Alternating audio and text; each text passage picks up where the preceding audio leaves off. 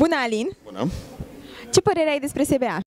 Uh, Am o părere foarte bună, mai ales că știu dintre primii cursanți ai SPBA, uh, deci știam despre ce este vorba, știam organizatorii acestui eveniment, uh, lucrez în domeniul sportului și chiar vreau să aflu cât mai multe legat de acest domeniu. Recomandă-ne unui prieten.